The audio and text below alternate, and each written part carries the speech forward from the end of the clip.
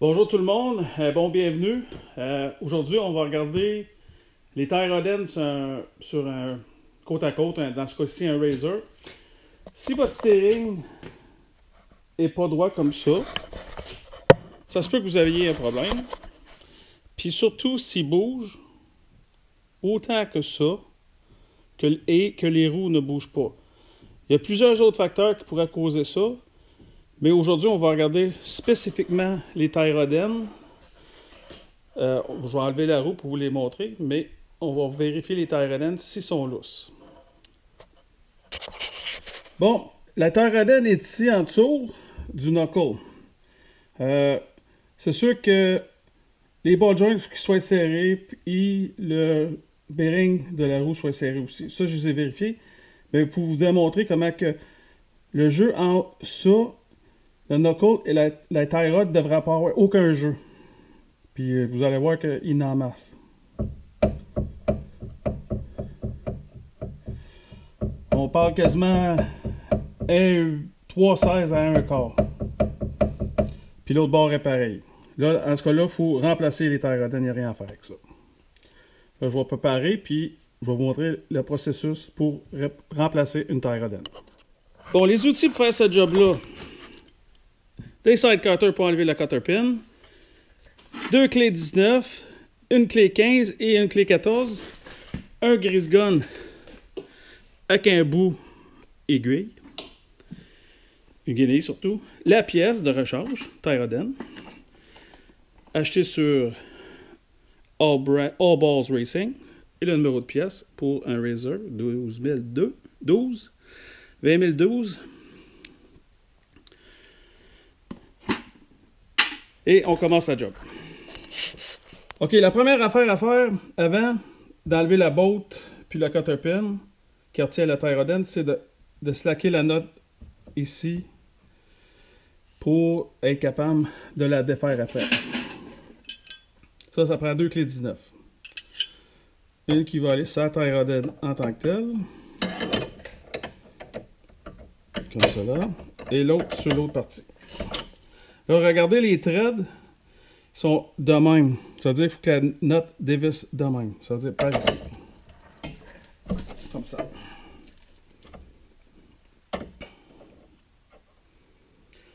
Là, le truc pour avoir un, un ajustement de départ, je l'ai slacké, mais je la ramène à la main.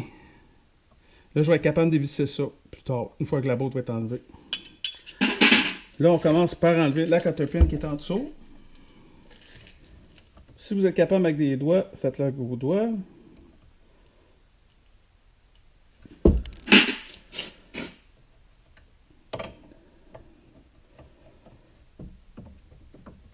Et on enlève la cotopine.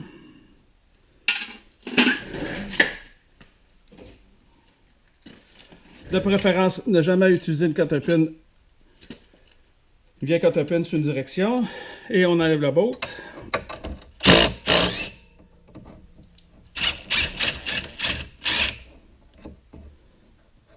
Note est enlevée. La boîte est enlevée. Et voici notre Tyroden. Comme j'ai juste retêté ça à main, ça, ça devrait...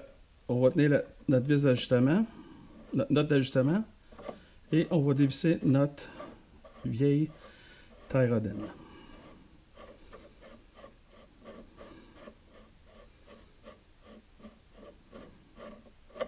Et voilà. Une fois ça c'est enlevé, on peut se disposer de la vieille table. Là, on va ouvrir la nouvelle.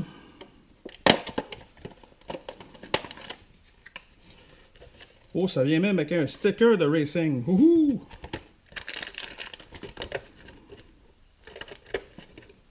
Ou un autre sticker pour le coffre d'outils.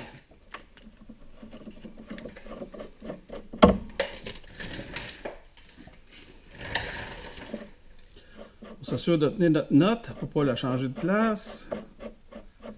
Et on arrête là. Comme ça. Là, vous vous, demandez pourquoi j'ai sorti un gris gun. Oui, il n'y a pas de, de manière dégraissée, mais avec une aiguille, Ça, c'est un entretien préventif. Qu'est-ce que je fais? Je la, squeeze entre le rubber de même. Et une coupe de coche, une coupe de pompe de graisse. Des deux bords.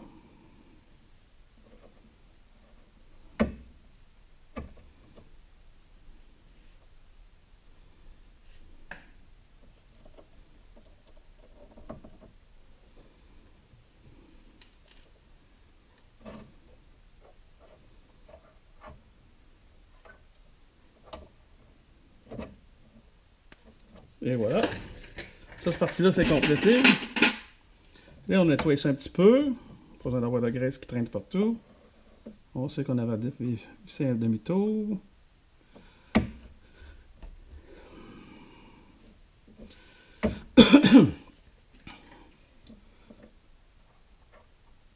Pas mal plus solide.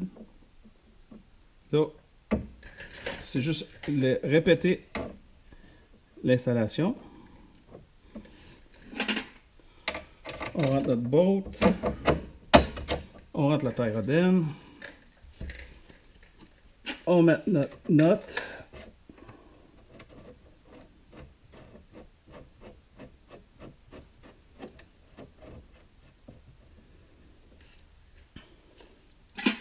Avec une clé 15 sur la note en dessous. Avec un socket 15 sur le top. Et on la serre euh, je ne vous le montrerai pas, mais on prend un torque wrench puis on le torque aux spécifications que je vais avoir en bas de l'écran. Là, vous pouvez voir que ça, c'est encore lousse. Une fois que l'autre bord va être complété, là, je vais être capable d'ajuster ma direction pour avoir euh, le bon toe-in. 0.8 à 1.8 euh, à 1 quart, 3 à 6.3 mm. Ça, ça va être après une fois qu'on va avoir remis les roues. Mais là, juste de même, c'est plus serré. Oh! Elle n'a pas oublié de remettre la fameuse cutter pin.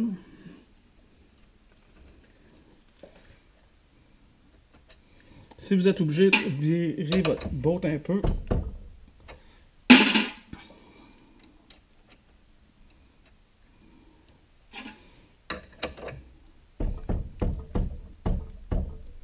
pour être capable de rentrer la cutter pin? C'est sûr qu'une fois après qu'elle va être torquée, elle va être correcte.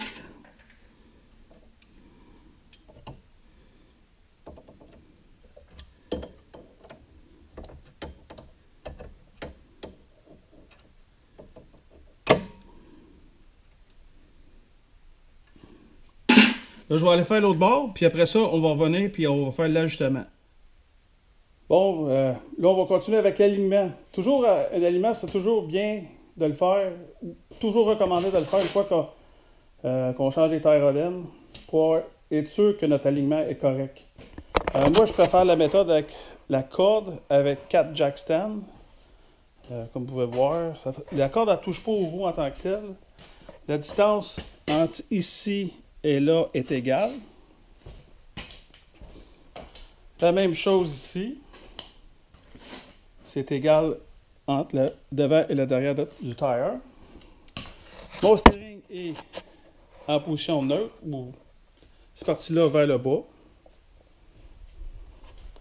Là, on va regarder. Juste à l'œil, on peut voir que celui-là, le toe-in, est pas mal trop. La roue va vers, en l'intérieur. Puis en tant que tel, il faut que la roue va vers l'extérieur comme celui-là, il devrait avoir moins d'espace là qu'en arrière.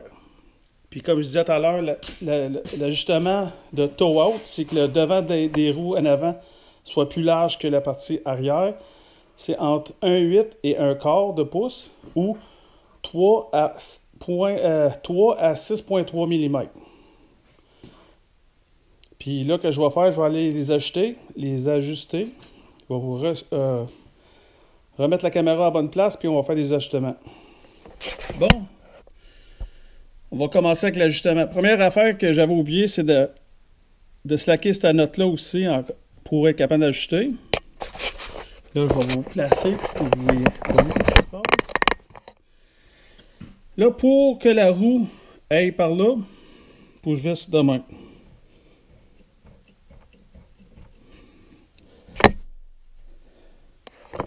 Là, c'est présentement une question de s'arranger pour avoir un 16, on va dire un 8, on va y aller pour un, un toe out de 1 quart. C'est-à-dire que j'ai ça puis ça, il faut que ça soit pas plus qu'un quart de différence. Excuse, un 8.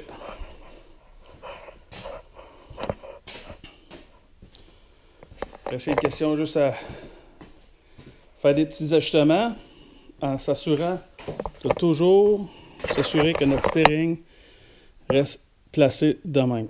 Un truc, ce sera peut-être mettre une strap, mais pour le but de l'exercice, je vais y aller de même.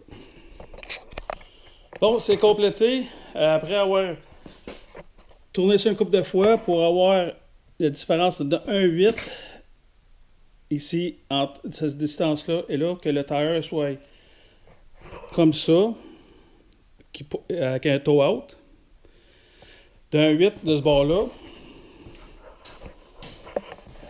Et la même chose ici. Un 8 de toe out de même qui va nous donner le maximum de 1 quart. Et que notre steering est encore au niveau. Il va rester juste à aller faire un petit road test pour s'assurer que notre steering est droite. Puis une fois que ça c'est fait, on peut tâter les notes avant d'ajustement pour être sûr que ça ne slack pas. Une fois que ça c'est fait, euh, après ça, si le steering n'est pas droit, ça va être juste une question de, de visser, puis dévisser d'un bord, dévisser de l'autre bord à la même distance pour avoir le steering bien droit. C'est tout.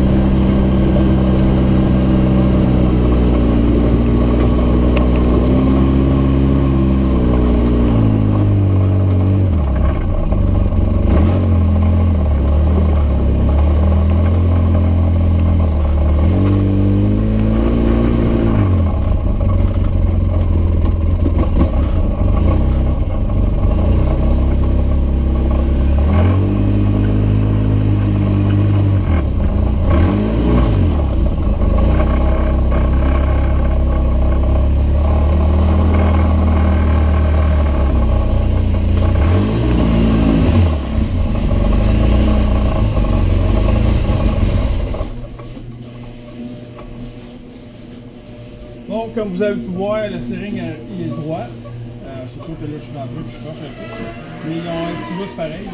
Mais en roulant, le steering il est droit. C'est pas une machine neuve. Ça reste, c'est un véhicule euh, hors route qui est totalement acceptable. Vous avez, avec des nouveaux Tyroden qui devraient durer plus longtemps. Si on prend le moins de peu d'entretien préventif en mettant de la graisse dedans. Encore une fois, merci d'avoir écouté et euh, au plaisir de vous revoir.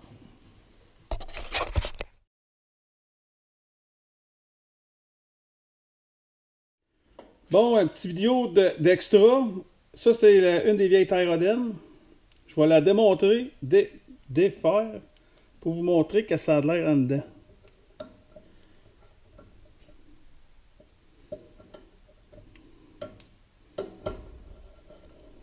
C'est sûr qu'on va détruire le, le rubber. Et rubber est enlevé.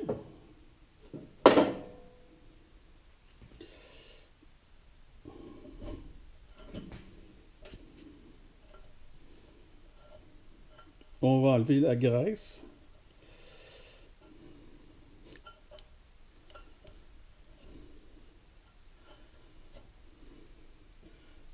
Un petit peu de, de brake cleaner.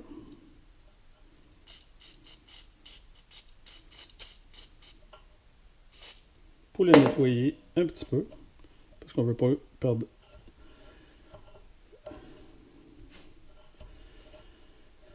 Bon. Ça, c'est la terre Où que la botte rentrait, puis ça, c'est la rod qui pousse de même. Comme vous pouvez voir, regardez le lousse qu'il y a là. C'est ça la partie qui peut pivoter dans tous les sens pour faire votre direction. C'est pas supposé être lousse de même.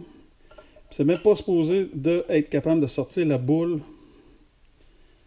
comme que je viens de faire. Puis si on regarde tout ça, là, cette partie-là, où c'est comme gris, un peu, euh, pas gris, mais rouille, c'est de l'infiltration d'eau qui est rentrée, puis a causé de l'usure.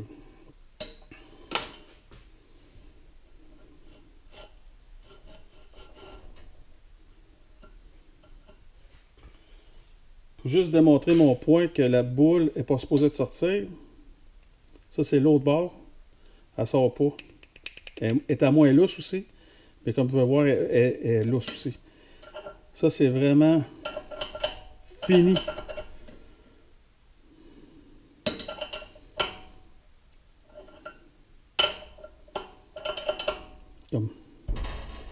Puis la manière qu'est-ce que je fais, moi, je rentre mon aiguille pour graisser entre le rubber et ici pour mettre la graisse là. Si je fais ça toutes les années, et si vous le faites faire toutes les années ou vous faites vous-même, s'il y a un petit peu d'infiltration d'eau, que si on joue dans l'eau avec un VTT, c'est sûr qu'il va en avoir, ça va enlever l'eau. Surtout si vous prenez une bonne graisse euh, comme la graisse de Polaris. Puis l'eau va sortir, ou ça va empêcher l'eau de rentrer. Et ça va vous sauver de payer un mécanicien pour changer vos terres Merci.